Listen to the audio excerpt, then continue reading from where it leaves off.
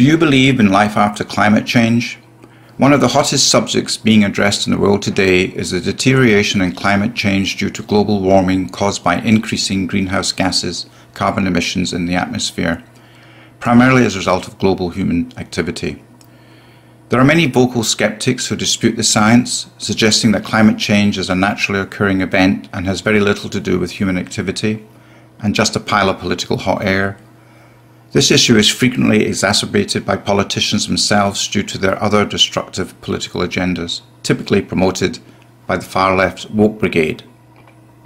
However, the science is undisputedly clear that human industrial activity over the past 50 years or so has without any doubt exponentially accelerated the growth in damaging climate change greenhouse gases, which is causing more frequent serious life-threatening weather events all around the world. Now, step in politicians who have signed a legally binding Paris Agreement to reduce the global carbon footprint and save the world. Unfortunately, many politicians are biased in their methods to achieve carbon neutrality due to their other divisive, far left woke agendas and cause great confusion in the minds of the general public. In New Zealand, our politicians push heavily for the reduction in livestock carbon based gas emissions by trying to force farmers to pay an emissions tax and push people away from driving fossil fuel vehicles by providing financial incentives to purchase battery powered electric vehicles instead. Government legislation was also introduced to ensure a certain portion of fossil fuel mixture sold contained biofuel to help reduce the carbon footprint. But there are some very serious issues regarding climate change that our politicians refuse to address and open up for public discussion and debate. As a result, many people are confused and not supportive of government measures to reduce the global carbon footprint. Perhaps the general public would be more conducive to the political solutions if politicians were more honest and informative in the first place. Take New Zealand, for instance. The country contributes considerably less than 0.2% to overall global greenhouse gas emissions. So regardless of what action the country takes to mitigate carbon emissions into the atmosphere, it will have absolutely no impact on global climate change whatsoever. And serious weather events like the recent cyclone Gabrielle will continue on to batter New Zealand regardless, every few years or so. Our politicians would be much better to concentrate on adaptation strategies rather than pie in the sky ideas and solutions. Why pie in the sky? There is plenty of supporting evidence. Use Google to suggest that overall damage to human beings caused by biofuel production will ultimately be worse than carbon emissions damage due to reduced food production and resultant death by starvation. Likewise, battery-powered electric vehicles may well also prove to be more detrimental to the planet than fossil fuels due to a wide range of factors such as mining, child abuse, slave labour, fire hazard and a whole raft of other negative concerns. Google has endless data on this. Finally, Taxing or punishing New Zealand farmers for livestock emissions is political ignorance, apart from the fact that such action will also push food prices even higher and make no difference to net global emissions. However, all of this is just the tip of the melting iceberg. There are many other very serious concerns and questions that politicians need to answer and honestly and openly discuss with the general public if they genuinely wish to resolve climate change successfully. For example, Politicians, please explain. Concern 1. The top polluters in the world are China, the USA, India and Russia, who account for well over 60% of all global greenhouse gases collectively, compared to New Zealand's 0.2% contribution.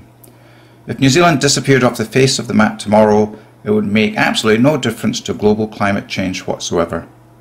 Explain why New Zealand has a carbon neutral goal of year 2025 some two years away, Yet China, who is the biggest polluter by far, with over 30%, has a goal of year 2060, nearly 40 years away. Concern 2.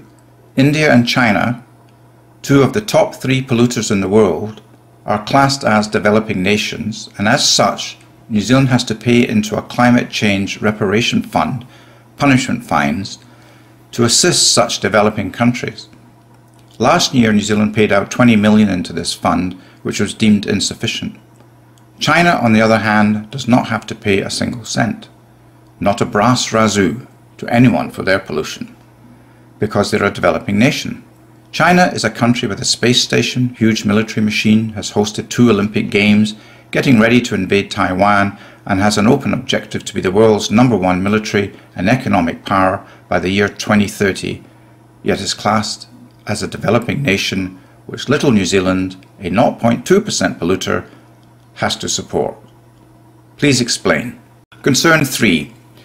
Very wealthy people, nice people like Bill Gates and John Kerry, for example, fly around the world in their private gas-guzzling, grossly polluting luxury jet aeroplanes, preaching to the world how we should live and reduce our carbon footprint in order to save the planet from the ravages of climate change.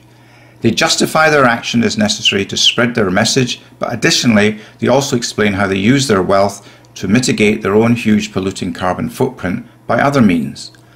Please explain why ordinary people are not encouraged to do the same thing. Drive around in their existing fossil fuel cars, but offset any pollution by planting a few extra green bushy shrubs in their garden.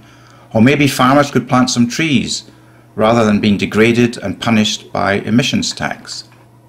Concern 4. I have included a few charts after this speech which clearly highlight and support the science that humans have undoubtedly been responsible for an exceptional and accelerating growth in global greenhouse gas emissions, especially over the past industrial 50 years or so. The charts also clearly show that in near perfect tandem, there has been a similar exponential growth in human population. I may be wrong, but I assume that the growth in global population has not been caused by the growth in greenhouse gases, but the opposite is true, that the growth in human population has directly caused the growth in greenhouse gases. Please explain why politicians never address the issue that the world has too many people, and by reducing the global population instead, this will automatically reduce global greenhouse gas emissions. Concern 5. Three of the top four polluters, China, the USA and Russia, are always threatening and or talking about a pending nuclear war. World War III seems to be imminent on the extinction clock, and people all around the world live in growing fear of a devastating war every day. The world is not at peace, they are closer to extinction by nuclear war than at any time in history. Explain why people should care about climate change if they genuinely fear that World War III is just around the corner and life for them may well be over at the click of their fingers in the near future. Or perhaps explain why war is just political saber rattling, will never happen, and climate change is a real political game. Thank you for listening. Whangarei Tim.